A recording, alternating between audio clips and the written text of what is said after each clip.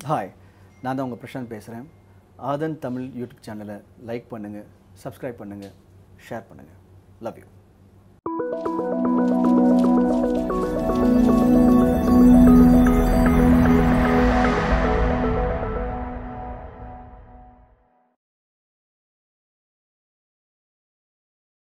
என்ன? நான் உனக்கு ஆன்டி இண்டி என்ன? ஒட்டு போட்ட பச்சை தமிழன்னா உன்னை போலே நானும் மனிதன். இண்டிபெண்டன்ட் மியூசிக் பண்ணணுங்கிறது என்னுடைய ஆசையாக இருந்தது.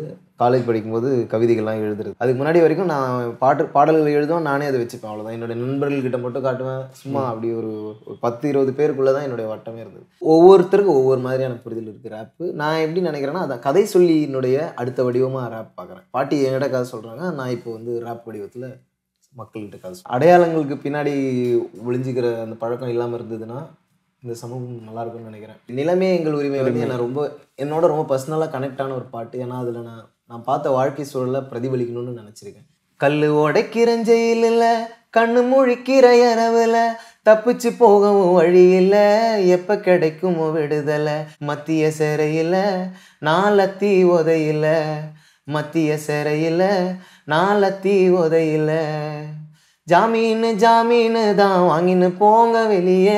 இங்க மிச்சம் இருந்தா குத்துடுவாங்க ராத்திரிக்கு தான் கலிய ஆதன் மீடியா அனைவருக்கும் ஒரு பெரிய வணக்கம் and welcome to show fun overloader with me Murali இன்னைக்கு நம்ம ஸ்டுடியோக்கு வந்திருக்க கெஸ்ட் யார் அப்படின்னு சொல்லி பார்த்தீங்கன்னா அறிவு தான். அறிவு அப்படின்னுமே வந்து எல்லாருக்குமே தேவையான ஒரு விஷயம். அது மட்டும் இல்லாமல் நம்ம சூப்பர் ஸ்டார் படத்தில் ஏதாவது ஒரு வகையில் நம்மளோட பங்கு இருக்கும் அப்படின்னு ரொம்ப நாளாக நினைப்போம். அவர் ஒரு அவர் கூட ஆக்ட் பண்ணுறதா இருக்கட்டும் இல்லை அவர் வந்து அவர் கூட டான்ஸ் பண்ணுறதா இருக்கட்டும். அது மட்டும் இல்லாமல் பெரிய ஒரு வாய்ப்புனா அவர் நம்ம எழுதுகிற பாட்டுக்கு தலைவரே டான்ஸ் ஆடுனா எப்படி இருக்கும்? ஆமாங்க. இவரோட பாடல் வரிகளுக்கு வந்து அவர் டான்ஸ் பண்ணியிருக்காரு. Hari sir welcome to the show மொட்டையாக சொல்லிட்டேன். அது என்ன படம் என்ன பாட்டு அப்படின்றத நீங்கள் எக்ஸ்க்ளூசிவாக சொன்னீங்கன்னா ரொம்ப சந்தோஷம். வணக்கம். காலா படத்தில் உரிமையை மீட்போம்னு ஒரு பாட்டு கடைசியாக அந்த படத்தினுடைய கடைசி கிளைமேக்ஸில் வரக்கூடிய பாட்டு. அந்த பாட்டு தான் எழுதினேன். நிலைமை எங்கள் உரிமைங்கிற பாட்டு. உங்கள்கிட்ட நிறைய கொஸ்டின் கேட்கணும். இவ்வளோ சின்ன வயசில் தலைவருக்கு சாங் எழுதிருக்கீங்க. அதுவும் கருத்துள்ள சாங்கு வெயிட்டான சாங்கு கிளைமேக்ஸான சாங் எல்லாமே ஒன்றுக்கு வரப்போ பொறுப்பை தூக்கி பாரத்தை தூக்கி உங்கள் தலைமையில் வச்ச மாதிரி இல்லையா பிரதர் கண்டிப்பாக இருந்தது. இருந்ததா? சரி நிறைய இதை பற்றி பேசுவோம். ஃபர்ஸ்ட் ஆஃப் ஆல் உங்களோட நேட்டிவ் இங்கே. நீங்கள் எப்படி இந்த இண்டஸ்ட்ரிக்கு வந்தீங்க? என்னோட நேட்டிவ் வந்து அரக்கோணம். பக்கத்தில் இருக்க ஒரு டவுனு அங்கே தான் இருந்தேன். நான் அங்கே ஸ்கூலில் அங்கே தான் படித்தேன் காலேஜ் வந்து கோயம்புத்தூர் போனேன் நான். இன்ஜினியரிங் முடிச்சுட்டு அப்புறம் எம்பிஏ பண்ணேன் அண்ணாமலையில். அதன் பிறகு இண்டிபெண்டன்ட் மியூசிக் பண்ணணுங்கிறது என்னுடைய ஆசையாக இருந்தது காலேஜ் படிக்கும்போது கவிதைகள்லாம் எழுதுறது அதுக்கப்புறம் காலேஜ் ஒரு இன்டர் காலேஜேட்டாக நடக்கிற ஃபங்க்ஷன்ஸ்லலாம் போய் பாடுறது அந்த மாதிரி அது மாதிரி ரொம்ப இன்ட்ரெஸ்டடாக இருந்தேன் நான். அப்புறம் வெளியே வந்தேன் நிறைய இண்டிபெண்ட்டாக சாங்ஸ் பண்ணணும்னு முயற்சி பண்ணிட்டே இருந்தேன். அதுக்கப்புறமா தான் கேஷ்லெஸ் கலெக்டிவ் பேண்டில் எனக்கு வாய்ப்பு கிடச்சிது. அதுக்கப்புறம் தான் சினிமா கோயம்புத்தூரில் பிறந்தாலோ இல்லை படித்தாலோ இந்த சாங் பாடுறது இண்டிபெண்ட்டாக பண்ணுற ஆர்வம் தானாகவே வந்துருமா பிரதர் நான் இங்கே ஸ்கூல் படிக்கும்போதே அரக்கௌண்ட்லேயே அதை பண்ணிட்டு தான் இருந்தேன் அங்கே போனப்புறம் ஒரு ஸ்பேஸ் கிடச்சிது. அங்கே ஒரு வரவேற்பு இருந்தது. நண்பர்கள் கிடைச்சாங்க. அவங்க நம்மளை உற்சாகப்படுத்துகிறாங்க ஒன்று ஒன்றும் பண்ணு இது பண்ணுன்னு சொல்லும்போது அப்புறம் எங்கள் காலேஜே எனக்கு வந்து ஒரு ஒரு எப்படி சப்போர்ட்டாக இருந்தாங்க. ஸோ அது எனக்கு ஒரு இன்னும் நிறைய பண்ணணும்னு தோணுச்சு. நான் நிறைய காலேஜஸ்க்கெலாம் போவேன் லீவ் எடுப்பேன். அதுக்கெலாம் எனக்கு அனுமதி இருந்தது. அதுக்கு அதுதான் மோட்டிவேஷன் அதுதான் கோயம்புத்தூர் வந்து முக்கியமான ரோல் ப்ளே பண்ணுச்சு கோயம்புத்தூரில் நானும் சேர்ந்துருக்கலாமோ அப்படின்ற மாதிரி தான் இருக்குது ஃபர்ஸ்ட் ஆஃப் ஆல் ஒரு இண்டஸ்ட்ரிக்கு வரணும் அப்படின்னா ஒரு ஹீரோவாக இருந்தால் ஷார்ட் ஃபிலிம்ஸ் பண்ணணும் சீரியல்ஸ் பண்ணணும் இந்த மாதிரி எவ்வளோ வகைகள் இருக்குது அது மட்டும் இல்லாமல் ஒரு படங்கள் பண்ணணும் அப்படின்னாலுமே இந்த சரௌண்டிங்கில் தான் வரணும். ஆனால் ஃபஸ்ட்டு படம் தலைவர் கூட காலா அப்படின்ற பெரிய ஒரு ப்ராஜெக்ட் இது. ரஞ்சித் அண்ணா இதெல்லாம் வரப்போ இவர்கிட்ட எப்படி இந்த ப்ராஜெக்ட் வந்துச்சு அப்படின்னு நம்ம யோசிப்போம்ல. எப்படி உங்களை அப்ரோச் பண்ணாங்க? நான் வந்து கேஷ்லெஸ் கலெக்டிவ்னு ஒரு பேண்ட் சொன்ன மாதிரி கேஷ்லெஸ் கலெக்டிவ் தான் எனக்கு ஆரம்பமே மீடியா அப்படிங்கிறதுக்குள்ளேயே. அதுக்கு முன்னாடி வரைக்கும் நான் பாட்டு பாடல்கள் எழுதுவேன் நானே அதை வச்சுப்பேன் அவ்வளோதான் என்னுடைய நண்பர்கள்கிட்ட மட்டும் காட்டுவேன். சும்மா அப்படி ஒரு பத்து இருபது பேருக்குள்ளே தான் என்னுடைய வட்டமே இருந்தது. கேஷ்லெஸ் கலெக்டிவ்னு ஒரு பேண்டுக்குள்ளே வந்த பிறகு அதில் நிறைய பாடல்கள் எழுதுகிற வாய்ப்பு கிடச்சிது. அதில் ஒவ்வொரு பாடலுமே கொஞ்சம் பொலிட்டிக்கலாக மக்க சமூகம் சார்ந்து விஷயங்களை பேசுறது கொஞ்சம் போல்டான ஸ்டேட்மெண்ட் வைக்கிற மாதிரியான பாடல்கள்லாம் எழுத சூழல் வந்தது. அப்புறம் நான் அதை அதை நான் ட்ரை பண்ணேன். அது அதுக்கப்புறம் அந்த பாடல்கள்லாம் நல்லா ஃபெமிலியர் ஆன பிறகு ரஞ்சித் சார் வந்து எனக்கு இந்த வாய்ப்பு கொடுத்தாரு. காலேஜ் படிக்கிறப்ப பார்த்தீங்கன்னா ஒன்று பக்கத்து வீட்டு பொண்ணை பற்றி பாட்டு எழுதுவாங்க. இல்லைனா காலேஜ் போயிட்டு அங்கே இருக்கிற ஃப்ரெண்ட்ஸை பற்றி பாட்டு எழுதுவாங்க. பட் இந்த சமுதாயத்தின் மேலே அப்பார்ட் ஃப்ரம் த ஃபிலிம் அப்படின்னு சொல்லி பார்த்தீங்கன்னா சோசியல் அவேர்னஸை பற்றி எழுதுறது ஒரு மண்ணை மண்ணை சார்ந்து இன்னும் முக்கியமாக நீங்கள் தமிழ் ஆசிரியர்கள் அப்பாவும் சரி அம்மாவும் சரி ஆசிரியர்கள் அப்படின்ற விஷயம் நான் கலெக்ட் பண்ணிட்டேன். அஹ் அவங்ககிட்ட இருந்து அப்படியே உங்களுக்கு வந்துருச்சு அப்படின்னு சொல்லணுமா? இல்லை வந்து நீங்கள் சமூகத்தை நிறைய விஷயங்களை பார்த்து கற்றுக்கிட்டதுங்களா பார்த்து கற்றுக்கிட்டது தான் சொல்லணும். ஏன்னா நான் ஸ்கூல் படிக்கும் போதெல்லாம் யாருக்கு எந்த ஸ்டூடெண்ட்டுமே வந்து நீ போய் சமூகத்தை பாரு வெளியே நடக்கிற விஷயங்களை கவனின்னு எந்த ஆசிரியரும் சொல்லி தரதில்ல எந்த பேரண்ட்டுமே சொல்லி தரதில்ல. நம்ம அவங்க அவங்க நமக்கு அவங்க நமக்கு கொடுக்குற வேலை போக மிச்சம் உள்ள நேரத்தில் நம்ம வெளியே எட்டி பார்த்துக்கிறது தான் உலகம்னு தான் நம்புறது. ஸோ அப்படி நான் நிறைய புத்தகங்கள் வாசிக்கிற பழக்கம் இருந்தது. டிவி கிடையாது எங்கள் வீட்டில் அதனால எனக்கு மா அந்த பெரிய நேரம் வந்து இதில் மிச்சமாச்சு. அப்போ எனக்கு உரிய பொழுதுபோக்கே வந்து ஏதாவது புக் படிக்கிறது இந்த சிறுவர் மலர் சிறுவர் மணிலாம் வரும் அதெல்லாம் தேடி தேடி படிக்கிறது. ஏதாவது ஒரு என்டர்டெயின்மெண்ட்னாலே அது வந்து ஒரு ஒரு வெள்ளிக்கிழமை ஒரு புக் வரும் அதை வாங்கி படிக்கிறது இப்படி தான் போயிட்டு இருந்தது. வளர வளர அது ஒரு ஹேபிட்டாக மாறிச்சு. பெரிய பெரிய நூல்கள் எடுத்து வாசிக்கிறது நாவல் அது வாசிக்கிறது. அது மாதிரி தான். அப்புறம் நானே கவிதைகள்லாம் எழுத முயற்சி பண்ணுவேன். அதை ஸ்கூலில் கொண்டு போயிட்டு அந்த கவிதை போட்டியில் கலந்துக்கிறது இப்படி தான் ஆரம்பமாச்சு எனக்கு. ஏன்னா இப்போ நம்ம இந்த ஜென்ரேஷன் பசங்களுக்கு எல்லாமே ஒரு நியூஸ் பேப்பர் வாங்கினாலோ டக்குன்னு லாஸ்ட் பேஜ் போ. இந்த பக்கம் கிரிக்கெட் நியூஸ் இந்த பக்கம் சினிமா நியூஸ் ஃபோன் எடுத்தோம் அப்படின்னா ஃபேஸ்புக்கு ட்விட்டரு வாட்ஸ்அப் இந்த மாதிரி தான் இருக்கும். அதுலேயே வந்து சினிமா இண்டஸ்ட்ரியில் யார் இருக்காங்க கிரிக்கெட் ஃபீல்டில் யார் இருக்காங்க என்டர்டைன்மெண்ட்டாக என்னென்ன விஷயங்கள் இருக்குது அப்படின்னு தான் பார்ப்போம். இந்த ஏன் மறுபடியும் மறுபடியும் ஏன் கேட்குறேன் அப்படின்னா இவ்வளோ யங்கஸ்டில் இந்த பாட்டு இந்த சமுதாயத்து மேலே இவ்வளோ அக்கறையும் எந்த ஒரு தாக்கம் உங்களை தாக்கியிருக்கும்ல இதெல்லாம் பார்த்தா எனக்கு இன்னும் நிறையா சொல்ல தோணுது நிறைய எழுத தோணுது பாட தோணுது அப்படின்ற எதை பார்த்தா உங்களுக்கு அந்த கருத்து? உங்களுக்கு தாட்டை வந்தது பிரதர் நான் வளர்ந்து வந்த சூழல் தான் நினைக்கிறேன். நான் வளர்ந்து வந்த சூழல் நான் பார்த்த மனிதர்கள் தான் வந்து அவங்க அவங்களுடைய கதைகள் தான் நானாக இருக்கேன் ஸோ இப்போ நான் எங்கள் தாத்தா கிட்ட உட்காந்து பேசுகிறேன்னும் போது அவங்க என்ன அவங்க எப்படிப்பட்ட ஒரு வாழ்க்கை சூழல் வாழ்ந்தாங்க அஹ் அவங்களுடைய போராட்டம் என்ன அப்படிங்கிறத இந்த சமூகம் வந்து இது வரைக்கும் இந்த சமூகத்துக்கும் அவங்களுக்கும் உள்ள டிஸ்கனெக்ட் என்னங்கிறது எனக்கு எனக்கு புரியுது. ஏன்னா நான் நடுவில் நின்றுட்டு இருக்கேன் ஸோ அதை வந்து நான் எங்கிட்ட இருக்கிற லாங்குவேஜ் மூலமாக இன்னும் இன்னும் ஃப்ளூயண்ட்டாக கொண்டு போய் சேர்க்கணுங்கிறதா தான் பாடல்கள் வழியாக அந்த கதைகளை சொல்கிறது முக்கியமான உந்துதலே வந்து பெரியவங்ககிட்டேருந்து நாம் பேசி பழகுற அனுபவங்கள் அப்புறம் நான் வாழ்க்கை சூழலில் என்னென்னலாம் பார்க்குறோமோ அதெல்லாம் தான். இந்த டிவைடை வந்து டிவைடில் வாழும்போது நமக்கு அந்த விஷயங்கள் புரிய வரும். ஓஹோ இப்படி தான் இந்த சமூகம் இருக்குது அப்படின்னு சொல்லிட்டு. அதை வந்து நம்ம போல்டாக பிரதிபலிக்கிறது தான் இருக்குன்னு நினைக்கிறேன். இவ்வளோ மெச்சூரிட்டியாக பேசுகிறப்ப இன்னொரு கொஸ்டின் வேணும். நீங்கள் ஒரு தாக்கத்தை ஒரு சேஞ்ச் பண்ணணும் அப்படின்னா இந்த சமூகத்தில் இதை சேஞ்ச் பண்ணிடலாம் பிரதர் இந்த சொசைட்டியில் இதை மட்டும் இல்லை அப்படின்னா வாழ்க்கை வேறு லெவலில் இருக்கும். எல்லாருக்குமே வந்து ஒரு பீஸ்ஃபுல்லான லைஃப் ஒரு சூப்பர்பான லைஃப் அமையும் அப்படின்னா எதை சொல்லுவீங்க பிரதர் ஆஹ் அடையாளங்களுக்கு பின்னாடி ஒளிஞ்சிக்கிற அந்த பழக்கம் இல்லாமல் இருந்ததுன்னா இந்த சமூகம் நல்லா இருக்கும்னு நினைக்கிறேன். பெருமை இல்லாமல் இருந்தோம்னா அதாவது நம்ம ஏதோ ஒரு இன இனம் மொழி மதம் சாதி எந்த ஒரு எந்த ஒரு எலமெண்ட்டையும் இல்லை அந்த ப்ரைட் எலமெண்ட் வந்து நம்மக்கிட்ட இல்லாமல் இருந்து சக மனிதனை மனிதனாய் பார்க்குற அட்டம்ப்டை முயற்சி பண்ணோனாலே சூப்பராக இருக்கும்னு நம்புகிறேன் இருந்தாலும் நீங்கள் படிச்சுட்டு வந்த ஃபீல்டுக்கும் இதுக்கும் சம்மந்தமே இல்லை. வீட்டிலே சரி ஃப்ரெண்ட்ஸும் சரி இல்லை பக்கத்தில் ரிலேட்டிவ்ஸ்லாம் ஏய் உன் பையன் சினிமா ஃபீல்டு இருக்கானா? பையனெல்லாம் நல்லா வேலைக்கு போய் சொல்லி முப்பதாயிரம் ரூபாய் கை நிறைய சம்பளம் வாங்க சொல்லி அப்படின்னா இனிமேல் எல்லாமே அப்ரோச் பண்ணிட்டு இருப்பாங்க. சொல்லிட்டு இருப்பாங்க எப்படி சொல்றது? கோழி மூட்டிட்டு இருப்பாங்க.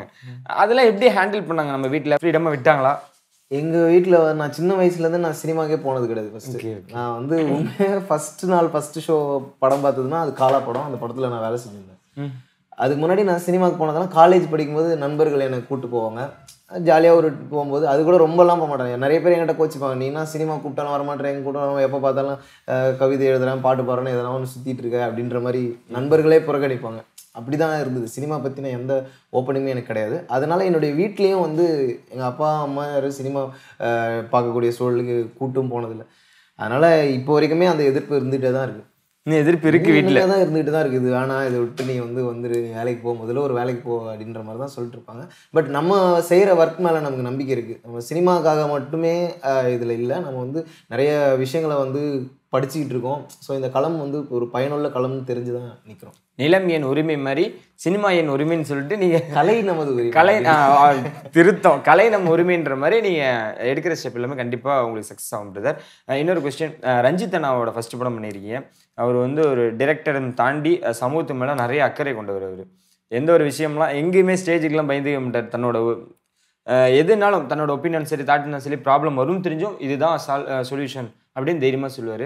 உங்களை எப்படி அப்ரோச் பண்ணார்? தம்பி இங்கே பாரு ஃபர்ஸ்ட் படம் தலைவருக்கு எழுதுற என்னோட டைரெக்ஷனில் இப்படிலாம் இருக்கணும். இதை தாண்டி இது கீழே போகக்கூடாதுன்னா நீ சொல்கிற கருத்து ஒரு என்டர்டெயின்மெண்ட் தாண்டவும் கூடாது. அது வந்து பெரிய ப்ராப்ளம் ஆகும். அந்த மாதிரி ரிஸ்ட்ரிக்ஷன்லாம் ஏதாவது பண்ணாங்களா?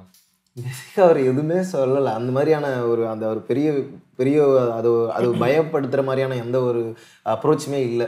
ஒரு நாள் கூப்பிட்டாரு கூப்பிட்டு ஒரு சின்ன ஒர்க் இருக்குது இது நீ பண்ணு அப்படின்னு சொன்னார். அந்த சுச்சுவேஷன் என்கிட்ட சொன்னார். மக்கள் வந்து தன்னுடைய உரிமைக்காக போராடுறாங்க. அவங்களுடைய நிலங்களை வந்து அவங்க மீட்டெடுக்கிறதுக்கான போராட்டத்தில் இறங்குறாங்க. அதுதான் அந்த போராட்டத்தில் ஒரு என்ஜாய்மெண்ட்டும் இருக்குது அந்த போராட்டத்திலேயே மக்கள் வந்து சந்தோஷமாக இருக்காங்க. இசை வாசிக்கிறாங்க ரேப் பாடுறாங்க டான்ஸ் ஆடுறாங்க. ஒரு திருவிழா நடக்குது இதெல்லாம் நடக்குது. ஸோ பெரிய போராட்டம். அதை கவர் பண்ணுற மாதிரியான ஒரு பாடல் எழுதினார். ஆனால் அவர் என்கிட்ட தெளிவாக சொன்னார் நீ எதுவும் பயப்பட தேவையில்ல. நீ ரிலாக்ஸாக பண்ணுன்னு சொன்னார். நான் எனக்கு நிறைய டைம் கொடுத்து ஃப்ரீயாக இருந்தது. நான் நான் தான் அந்த பயத்தை வந்து பெரிய படம் அந்த மாதிரிலாம் பயந்துட்டு இருந்தேன். அவர் ரொம்ப கேஷுவலாக தான் ஹேண்டில் பண்ணார். நீங்கள் வந்து அந்த செட்டுக்கெலாம் போனதில்லை. என் ஃப்ரெண்டு சொன்னதை வச்சு நான் அந்த பாட்டை கிரியேட் பண்ண அப்படின்ற மாதிரிலாம் சொன்னீங்க. அடுத்து நெக்ஸ்ட் ப்ராஜெக்ட் வட சென்னை. இது ஒரு பிளாக் பஸ்டர் அது இல்லாமல் பொறுப்பு அதிகமாக இருக்கும். இவங்கெல்லாம் வந்து ஒரு சூப்பர் ஸ்டார் ஆகட்டும் தனுஷ் ஆகட்டும் ரஞ்சித் சார் ஆகட்டும் வெற்றிமாறன் அப்படின்னாகட்டும் அவங்கள மேலே மரியாதை இருக்கிறது பயம் அப்படின்றது எல்லாருமே கண்டிப்பாக இருக்கும். ஏன்னா அவங்க எவ்வளோ தூரம் அவங்களோட வளர்ச்சி பார்த்தாலும் இவங்க இதை பண்ணல அப்படின்னா கண்டிப்பாக நம்மளை சொல்லுவாங்க அப்படின்னு. அந்த மத்திய சிறையில் அப்படின்ற பாட்டு நீங்கள் தான் எழுதுனீங்க. ஆனால் வந்து எப்படி சொல்கிறது நிலம் என் உரிமை கூட கேட்டு எழுதிடலாம் ஆனால் மத்திய சிறைக்குள்ள இவ்வளோ விஷயங்கள் இருக்கு அப்படின்றலாம் எப்படி நீங்க ஆல்ரெடி இதையும் கேட்டு எழுதுனீங்களா இல்ல மத்திய சிறையில் எனக்கு சூழல் சொன்னாங்க. ஜெயிலுக்குள்ள இருக்கிற மாதிரியான ஒரு கதாநாயகன் வந்து ஜெயிலில் இருக்காரு அந்த மாதிரி சூழல் சொன்னாங்க. மற்றபடி நம்ம நம்ம இயல்பாக எழுதுகிற கற்பனையில் இருந்தால் என்னென்னா எளிமையாக இருக்கணும். நான் எப்பவுமே அதுதான் எளிமையாக எழுதணுன்ட்டு தான் நினைப்பேன். காம் அது வந்து ரொம்ப ரொம்ப பொயட்டிக்காக அப்படி பண்ணுங்கிறத விட எளிமையாக எவ்வளோ சிம்பிளஸ்ட் சிம்பிளஸ்டான ஃபார்மில் உங்களால் சொல்ல முடியுதுன்னா அது ஒரு அதுதான் சேலஞ்சிங்கான ஒரு விஷயம் இல்லையா? ஸோ அப்படி தான் ட்ரை பண்ணேன் அந்த பாட்டு. ஜெயிலில் இருக்காரு ஹீரோ அந்த மாதிரி ஒரு சுச்சுவேஷன் சொன்னாங்க. சரி அதனால் கானா பாட்டு நம்ம கேஷ்லெஸ் கலெக்டில் நிறைய கானா பாடல்கள் எழுதியிருந்தேன். அந்த அனுபவம் கை கொடுத்தது. அதுக்கப்புறம் சாம்பிள் மாதிரி அமிச்சேன். சந்தோஷ் நாராயண் சாருக்கு அவர் உடனே அப்புறம் டேரக்டர்கிட்ட பேசி ஓகேன்ற மாதிரி சொன்னாங்க. ஏன்னா ரெண்டு படமும் அடுத்தடுத்து சந்தோஷ் நாராயணன் சார் கூட தான்.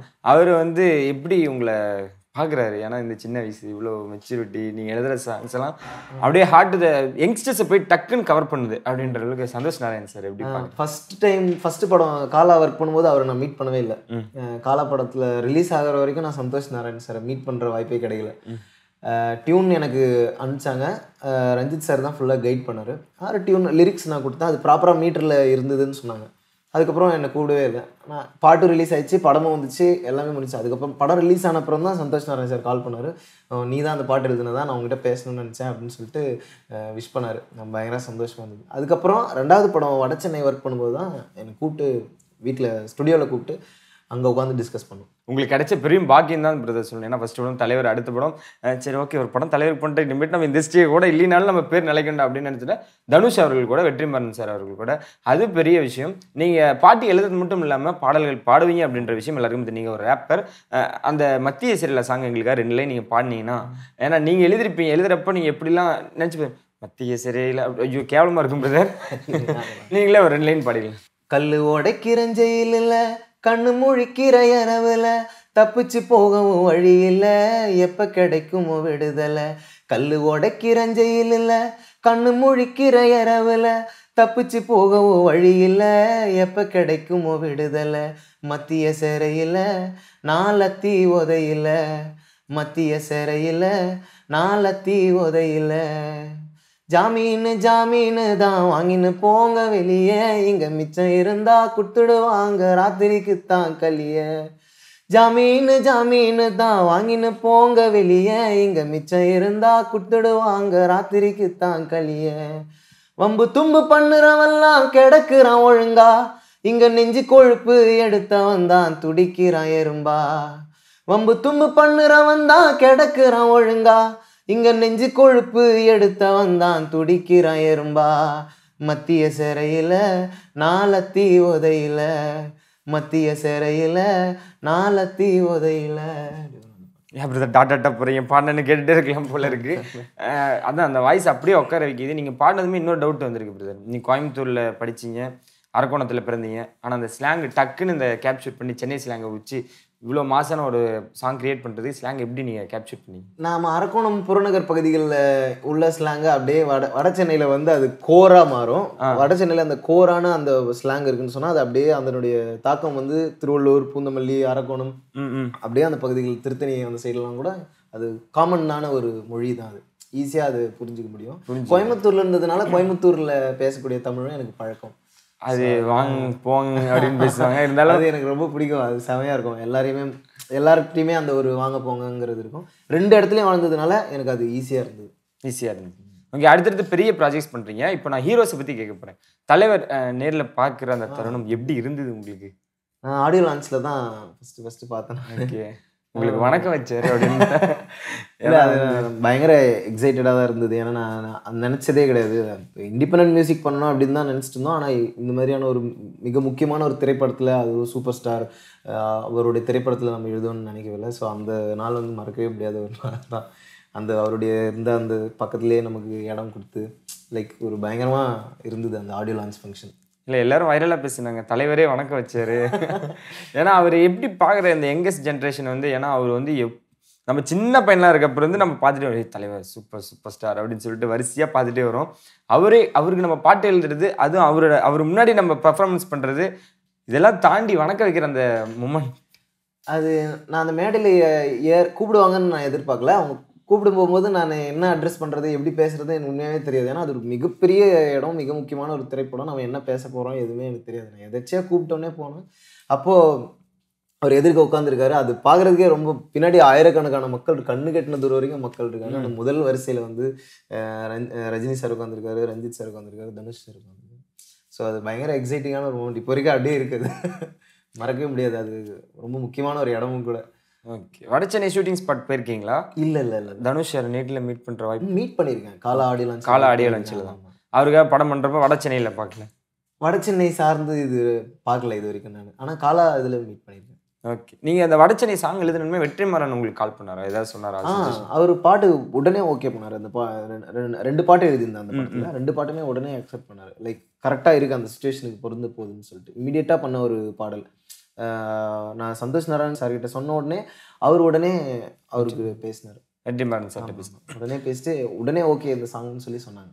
ஓகே இப்போ ஒரு பெரிய ரெண்டு தலைவர்களை பார்த்துட்டு கூட தான் நான் உட்காந்துருக்கேன் அப்படின்னு எனக்கு ரொம்ப பெருமை பிரதர் எனக்கு ரொம்ப நாளாக ஒரு டவுட் பிரதர் ரேப்னா என்ன பிரதர் ரேப் ஒரு ஒரு ஒரு இசை வடிவம் ஒரு கதை சொல்வதற்கான ஒரு இன்னொரு தளம். அவ்வளோதான் ஸ்டோரி டெல்லிங்கோட ஒரு நெக்ஸ்ட் லெவலில் ரேப் இல்லை அதில் அந்த நம்ம பழைய படத்தில் எஸ்பிபி மூச்சு விடாம பாடுவார். அப்படின்னு இல்லை இல்லை அந்த மாதிரி ரேப் அப்படின்னா அந்த தொடர்ந்து அந்த வார்த்தைகளை அடுக்கி அடுக்கி அடுக்கி.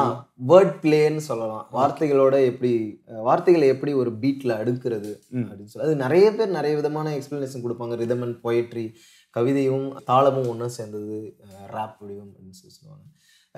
ஒவ்வொருத்தருக்கும் ஒவ்வொரு மாதிரியான புரிதல் இருக்குது ரேப்பு நான் எப்படி நினைக்கிறேன்னா அதான் கதை சொல்லியினுடைய அடுத்த வடிவமாக ரேப் பார்க்குறேன் பாட்டி என்கிட்ட கதை சொல்கிறாங்க நான் இப்போ வந்து ரேப் வடிவத்தில் மக்கள்கிட்ட கதை சொல்கிறேன் அந்த மாதிரி உங்கள் பாட்டி ஏதாவது ஸ்டோரி சொல்லியிருக்காங்க? பாட்டியா ஃப்ரெண்ட்ஸா அந்த யாருன்னா கதையை தான் நம்ம பாட்டாக எழுதுறோம்ல. நம்ம சமூகம் சார்ந்து அவங்க சொல்கிற கதைகள்னா விளையாட்டான விஷயங்கள் தாண்டி மக்களுடைய வாழ்க்கை சூழல் எப்படி இருக்குது இது எல்லாத்தையும் அப்சர்வ் பண்ணுறோம்ல பாட்டி என்கிட்ட கதை சொல்கிறாங்கிறதுனால பாட்டியோட வாழ்க்கை எப்படி இருந்தது என் வாழ்க்கை எப்படி இருக்குது இதுக்கு இடையில என்னுடைய பெற்றோருடைய வாழ்க்கை எப்படி இருக்குது இந்த டிரான்சிஷன் எப்படி வந்தது இது எல்லாத்தையும் தான் நம்ம பாடலாக தரோம். ஸோ அவங்க சொ- அவங்க கதைகளை நம்ம ரேப் வடிவத்தில் சொல்கிறோம் இதுதான் உங்களை இவ்வளோ தூரம் கொண்டு வந்திருக்குன்னு நினைக்கிறேன். ஏன்னா பாட்டி சொல்றது உட்காந்து பொறுமையாக கேட்குற விதம். ஆமாம் ஏன்னா நம்மள என்ன? உனக்கு என்ன பாக்கு தானே? வாங்கிட்டு வரேன் ஆமாம் அப்படின்னு அந்த இக்னோரன்ஸ் தான் அந்த இக்னோரன்ஸான ஒரு தலைமுறை தான் நம்ம. நம்ம பெரியவர்களுடைய கதைகளை வந்து எடுத்துக்கிறது கிடையாது. உண்மையான கதைகளை தேடுறது கிடையாது. ஏதாவது ஒரு விஷயம் ஐகானிக்காக இருக்குன்னா மட்டும் அது வந்து ஒரு பெருமையான ஒரு விஷயம் இருக்குன்னா மட்டும் அதை மட்டும் எடுத்து வச்சுக்கிறது. மற்ற அதை சா அதை சுற்றி உள்ள பகுதியில் எதுவும் நம்ம கவனிக்கிறது கிடையாது.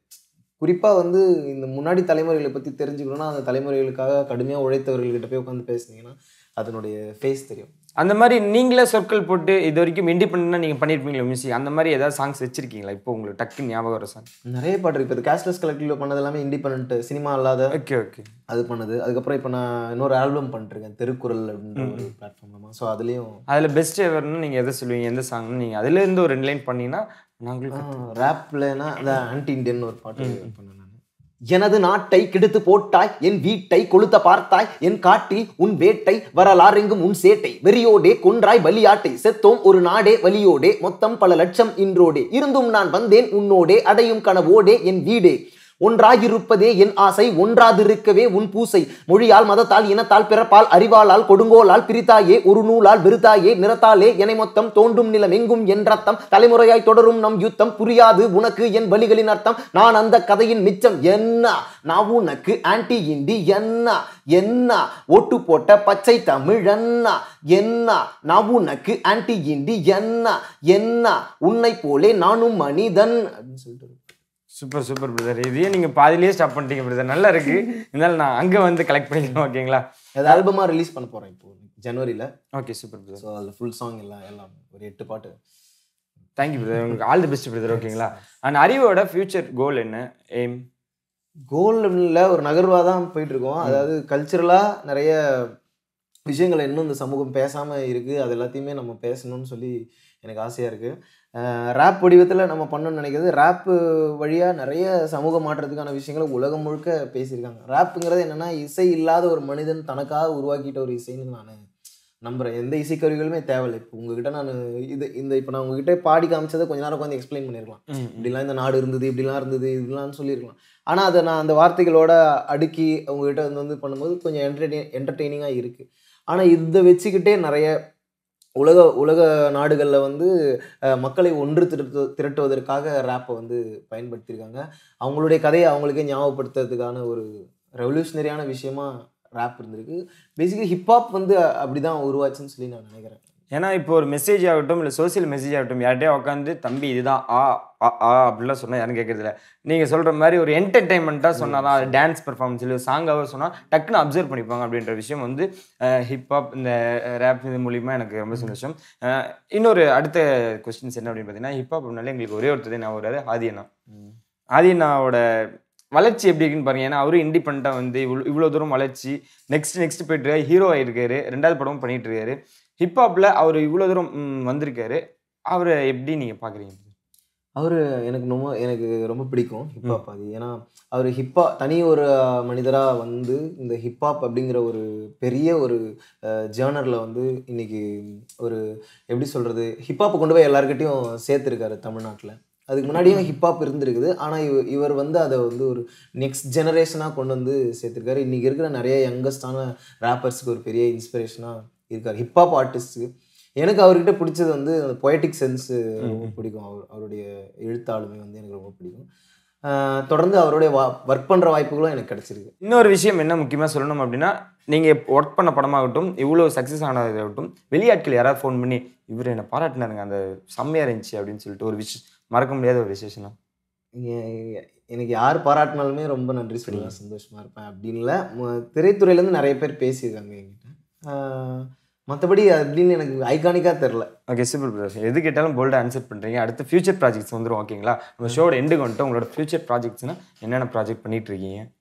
கேஷ்லெஸ் கலெக்டிவ்ல வந்து நான் ஒரு ஆல்பம் வந்து ரிலீஸ் பண்ண போகிறாங்க இப்போ. Super. ஸோ அந்த ஆல்பமில் தான் ஒர்க் பண்ணிருக்கேன் ஸோ அது இந்த டிசம்பர் தேர்ட்டி ஃபர்ஸ்ட் அன்னைக்கு ஒரு பெரிய மியூசிக் கான்சர்ட் பண்ண போகிறோம் ஸோ ஒரு இண்டிபெண்ட் ஃபுல் டே இண்டிபெண்ட் ஆர்டிஸ்டினுடைய ஒரு பெரிய கான்சர்ட் பண்ண போகிறோம் ஸோ அது வந்து கேஷ்லெஸ் கலெக்டிவ்னுடைய ஆல்பம் லான்ச்சு அதே மாதிரி ஒரு பெரிய கான்செப்ட் ஸோ அது அது அதுதான் நெக்ஸ்ட் ப்ராஜெக்ட் அதுக்கப்புறம் வந்து ஆல்பம் ஒன்று பண்ணிட்டுருக்கேன் இண்டிபெண்ட் ஆல்பம் ஸோ திருக்குறள் அப்படிங்கிற ஒரு பிளாட்ஃபார்மில் அதாவது கலை மக்களுக்கானது அதை மக்களிடமே கொண்டு செல்வோம். கலைகளை அரசியல்படுத்துவோம் அப்படிங்கிறது தான். அதாவது எளிய வடிவத்தில் மக்களோட பிரச்சனைகளை கொண் மக்கள்கிட்ட கொண்டு போய் பாடுறது விவாதிக்கிறது தான் நம்முடைய நோக்கம். ஸோ அதுக்கான ஆர்ட் ஃபார்ம் வழியாக நிறைய இண்டிபெண்ட் ஆர்டிஸ்ட்லாம் செலக்ட் பண்ணி அவங்களோட சேர்ந்து ஒர்க் பண்ணி ஒரு ஃபுல் டே வந்து இண்டிபெண்ட்டான ஆர்டிஸ்ட் ஒரே ஷோ அந்த ஒரு நாள் ஃபுல்லாக சினிமா பாடலே இருக்காது. ஸோ அந்த ஃபுல் டே அந்த மாதிரி பண்ணலான்னு ஒரு பிளானில் இருக்கும். படங்களை அடுத்தடுத்து என்ன பண்ணிட்டு படங்கள் வந்து இது காலா வடச்சனே அது பிறகு நாடோடிகள் பார்ட் டூ வருது. அது Nadodigal part two Sasikumar sir டைரக்ஷன்ல ஓகே ஜெயில்னு ஒரு படம் பண்ணியிருக்கேன் ஜெயில். ஆமாம் அதுக்கப்புறம் இப்போ நட்பே துணை ஹிப்ஹாப் அது நட்பே துணை. Okay okay. அதில் பண்ணியிருக்கேன் வந்தா ராஜாவாக தான் வருவேன். அதில் ஒரு பாட்டு. அது அந்த ராஜா தான் வருவேன். எஸ்டிஆர் ஃபேன்ஸ் எல்லாருக்கும் ஒரு பெரிய சர்ப்ரைஸ் அதுல என்ன மாதிரி சாங் பிரதர் லவ் சாங் எழுதி அது மட்டும் சொல்லியிருக்கேன் பிரதர் இல்ல சொல்ல மாட்டீங்களா? ஓகே நட்பை துணையில ஒரு சிங்கிள் ட்ராக் வெளியாகி பயங்கர பிளாக் பஸ்ட் ஹிட் ஆயிருக்கு கேரளா கலந்த ஒரு செம்ம சாங் பண்ணி கேரளாவோட எல்லாருக்குமே ரிங் டூன் காலர் டியூனாவே மாற்றி வச்சிருக்காங்க அப்படின்ற நியூஸ் எல்லாம் பரபரப்பாக போயிட்டு இருக்கு அதுல ஒரு சாங் பண்ணிருக்கீங்கன்னு எங்களுக்கு ரொம்பவே சர்ப்ரைஸ் பிரதர் அதுலயே சொல்லுங்க லவ் சாங் நீங்க பண்ணிருக்கீங்களா? இல்ல ரேப் வழக்கமாக பண்ணுறது எல்லாமே கொஞ்சம் ஒரு கருத்துள்ள சாங்காக இருக்கும். இந்த படத்தில் பண்ணது வந்து ஜாலியான ஒரு பாட்டு. ஜாலியான பட்டு. ஹிப்ஹாப் பண்ணோட அப்ரோச் எப்படி இருக்கும் பிரதர் அவரும் செம கூலாக அப்ரோச் பண்ணுவார். ஜஸ்ட் போய் உட்காந்து பேசும்போது அப்படியே ஜாலியாக அப்படியே கம்போசிஷன் ஆரம்பிச்சிருவாரு. இப்போ உட்காந்து அதுக்காக ஒரு மூட் செட்டப்பில் பண்ணுவோம் அதுக்கப்புறம் நம்ம உருவாக்கலாம். அந்த வைப்லேயே தான் அவர் இருப்பார். போகும்போதே வாங்க ப்ரோ உட்காருங்க. சூப்பர் இப்படி பண்ணுங்க. இப்படி பண்ணுங்க. ஜாலியாக பண்ணுங்க. அப்படின்னு சொல்லுவார். அதுக்கப்புறம் வேலை செய்ய செய்ய அவர் நம்மக்கிட்ட டிஸ்கஸ் பண்ணுவார். நம்மளுடைய ஒர்க் எப்படி இருக்குன்னு முன்னாடியே அவர் தெரிஞ்சு வச்சிருந்தாருன்னா அதை பற்றி நமக்கு கைடன்ஸ் சொல்லுவார். ரொம்ப சூப்பராக மோட்டிவேட் பண்ணுவார் அது. அவர் போடுற சாங்லாம் வேற லெவல்ல இருக்கு பிரதர் அதோட சக்சஸ் இதை சீக்ரெட் இதை வச்சிருக்காரா? இல்ல அப்படி இல்ல. இது. சீக்ரெட்டில் ஹார்ட் ஒர்க் தான். ஓகே கண்டிப்பா நட்பே துணில ரெண்டாவது சிங்கிள் ட்ராக் உங்களுக்கு தான் வருது அப்படின்ற நியூஸும் மேபி இருக்கு அப்படின்றதும் எக்ஸ்க்ளூசிவாக சொல்லியிருக்காரு. கண்டிப்பா அது சக்ஸஸ் ஆகும் brother all the best for your future bro நீங்க இவ்வளோ மியூசிக் டைரக்டர் ஒர்க் பண்ணிருக்கீங்க. அஹ் இதுல பெஸ்ட்னா நீங்க யாரை சொல்லுவீங்க? நான் வந்து பெஸ்ட்டு எது அப்படின்னு தெரிஞ்சுக்கிற இடத்துக்குலாம் வரல. இப்போ தான் ஆரம்பிச்சிருக்கோம். ஸோ அதனால் கற்றுக்கிறேன் ஒவ்வொரு மியூசிக் டைரக்டர்கிட்ட ஒவ்வொரு மாதிரியான அப்ரோச் இருக்குது எல்லா எனக்கு எனக்கு தரப்படுற ஸ்பேஸை வந்து அவங்க என்கிட்ட என்ன எதிர்பார்க்குறாங்களோ அதை முழுமையாக தரத்துக்கு ஒவ்வொரு வாய்ப்புலையும் முயற்சி பண்ணுறேன் ஸோ அது அதை நோக்கி தான் போயிட்டுருக்கு இப்போதைக்கு. நான் பெஸ்ட்டு எதுன்னு சொல்கிற அளவுக்கு இல்லை இன்னும். நீங்க எழுதின சாங்லேயே பெஸ்ட் அப்படி இல்லை. ஒவ்வொரு சாங்குமே அப்படி தான் நினைப்பேன். பெஸ்ட்டு அப்படிலாம் இல்லை. ஆனால் எனக்கு நிலமே எங்கள் உரிமை வந்து என்னை ரொம்ப என்னோட ரொம்ப பர்சனலாக கனெக்ட் ஆன ஒரு பாட்டு. ஏன்னா அதில் நான் நான் பார்த்த வாழ்க்கை சூழலை பிரதிபலிக்கணும்னு நினச்சிருக்கேன். அது ஒன்று தான் okay brother thank you brother மறுபடியும் ஒன்ஸ் again நீங்கள் எங்கள் ஸ்டுடியோக்கு வந்தது இவ்வளோ தூரம் ஷேர் பண்ணிட்ட விஷயம் ரொம்பவே எங்களுக்கு பயனுள்ளதாக இருந்துச்சு அப்படின்னு தான் சொல்லணும். தமிழில் சொல்லணும் இல்லை கரெக்டாக ஓகே இவ்வளோ நேரம் அறிவு அவர்கிட்ட வந்து அறிவு சார்ந்த நிறைய விஷயங்கள் நம்ம வந்து கற்றுக்கிட்டோம் மீண்டும் நான் சொல்ல உங்களை சந்திக்க முறை உங்களிடம் எடுப்பது நான் உங்கள் முரளி வித் அறிவு. தடா வெட்டிக்கா.